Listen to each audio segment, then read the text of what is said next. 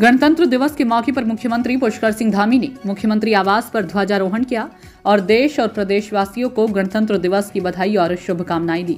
मुख्यमंत्री पुष्कर सिंह धामी, मुख्यमंत्री आवास में मौजूद सभी अधिकारियों, कर्मचारियों को संविधान की शपथ दिलाई।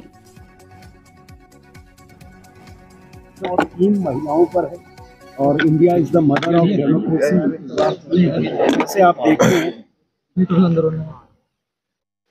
गणतंत्र दिवस की मैं सबसे पहले तो सबको बहुत शुभकामनाएँ देता हूँ, बहुत बधाई देता हूँ और इस बार बड़ा सुखद संयोग है कि फ्रांस के राष्ट्रपति हमारे यहाँ गणतंत्र दिवस के अवसर पर आए हैं।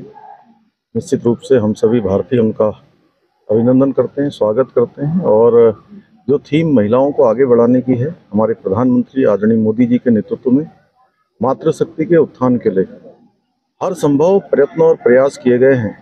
इसलिए अगर हम साढ़े नौ वर्षों का उनका कालखंड देखेंगे तो हर क्षेत्र में, चाहे आज अपनी मातृशक्ति को लखपति दीदी बनाने की योजना हो, या नारी शक्ति बंधन विधेयक संसद के अंदर पास कराना हो, हर क्षेत्र में मातृशक्ति को समर्पित रहा है।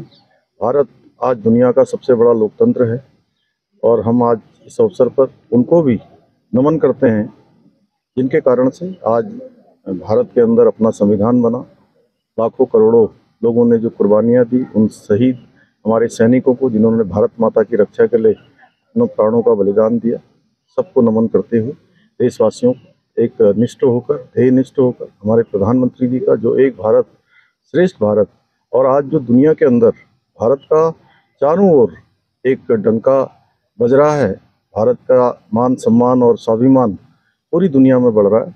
हर एक भारतवासी को इसमें अपना सहयोग करना चाहिए, तभी यह गणतंत्र हमारा मज़बूत होगा।